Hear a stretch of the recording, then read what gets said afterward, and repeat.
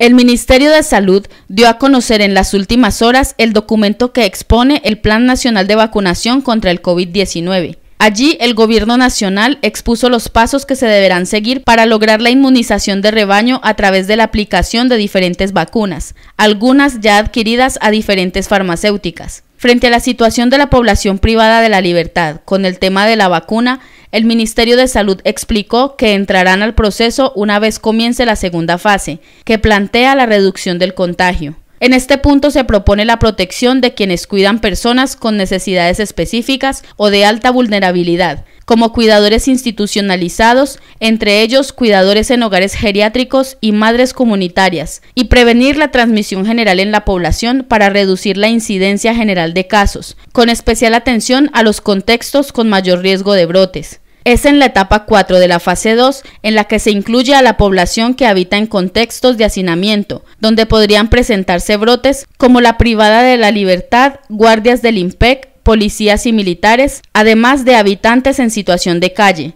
Aquí se vacunarían cerca de 4.910.000 colombianos. Aproximadamente en el mes de agosto iniciaría la vacunación de los 132 centros penitenciarios del país. Según el IMPEC, con cortes de 5 de enero del 2021, en las cárceles del país hay 521 presos contagiados con COVID-19, 73 integrantes del cuerpo de custodia y vigilancia y 12 administrativos.